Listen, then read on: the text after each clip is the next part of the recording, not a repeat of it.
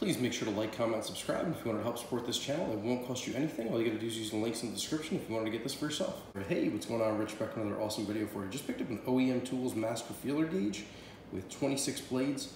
Uh, this is a really good deal. It was around five bucks when I picked it up. Um, prices go up and down, obviously, but really inexpensive, under $10. It's got a whole bunch of sizes. It goes all the way from 0.0015 all the way up to 0.025. And then for metric, it goes from 0.038 all the way up to 0.635. And get this thing opened up, show you what it looks like. It's got a set screw right here, which you tighten down. And what that does is it tightens the whole thing. Everything's really loose right now.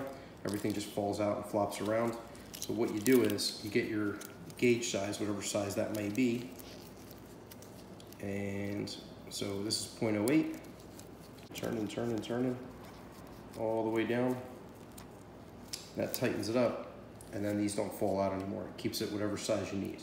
So it's wafer thin. It's like a piece of, thinner than a piece of paper. It's unbelievably thin. But that's your size. That's how you know what you need. And you just take these out. Again, turn this and lock it down. It's good to go. And this has oil from the factory. These are pre-oiled. If you can see that, that's wet. So you can see that moving around.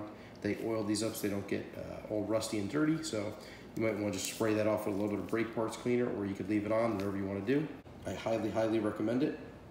Uh, I'm going to leave a link in the description in case you want to get one for yourself.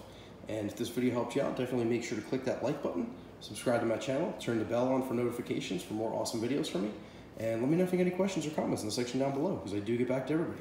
Thanks so much for watching. Take care.